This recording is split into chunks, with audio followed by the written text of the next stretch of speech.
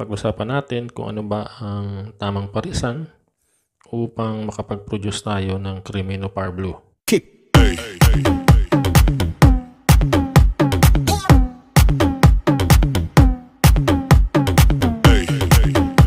Usapang Crimino Par Blue po tayo ngayon. Pag-usapan natin kung ano ba ang tamang parisan upang makapag-produce tayo ng Crimino Par Blue. Pero bago tayo magpatuloy, gaya ng dati, ay alamin natin kung ano ba ang mga involved na mutations para makapagpalabas ng Crimino Par Blue at kung ano ang kanilang mga mode of inheritance. Ang Crimino Par Blue po kasi ay kombinasyon ng Par Blue at Lutino. Actually, tatlong mutation ang involved dito. Ang blue, ang turquoise, at ang ino. Ang blue po at ino ay autosomal recessive. Ibig sabihin, nangangailangan ng mutant gene ang tig-isang parents, either visual or split, upang maipasa nila ito sa kanilang magiging anak.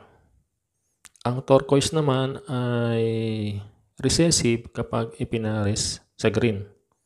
Ngunit, ang turquoise kapag ipinares sa blue ay uh, nagiging uh, codominant po sila ng blue at na, nai-express nila ang kanilang kulay, ang turquoise at blue sa iisang ibon. Marahil ay itatanong nyo bakit naging codominant samantalang recessive ang uh, turquoise at blue. Ang turquoise po kasi at blue ay multiple allele. Sila po ay co-allele to each other. Meaning, ang lokasyon ng kanilang genes ay nasa iisang address.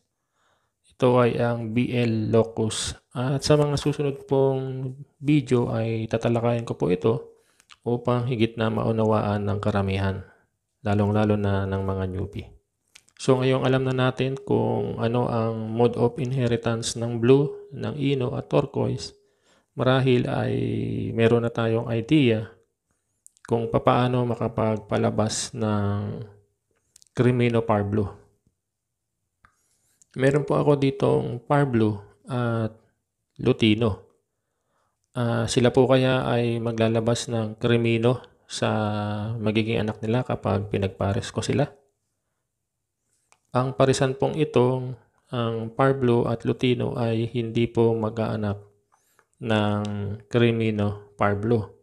Bagamat visual Parblu at Lutino na ang parisang ito, ay hindi pa rin mag mag-produce ng Cremino ang parisang ito. Upang mag-produce ito, kailangan ang Parblo ay split sa Ino at ang Lutino ay split sa Blue. Meron po akong pangalawang pares dito. Ito po ay green, split Ino, split Blue at ang kapares niya ay Par Blue. Ito po ba ay maglalabas ng Crimino Parblo sa kanilang magiging anak. Again, ang parisampong ito ay hindi rin po mag-aanak ng Crimino Parblo. Upang mag-anak sila ng Crimino Parblo, kailangan yung Parblo ay split sa ino. Narito pa ang ilang parisan na sa tingin ko ay maglalabas ng Crimino Parblo.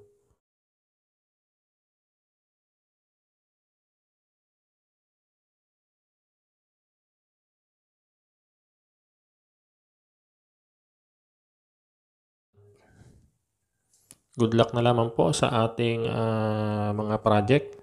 Lagi po nating tatandaan na kapag tayo ay magpa-project, ang iwasan po natin na magpare sa mga ibon na napakaraming kargang mga recessive genes.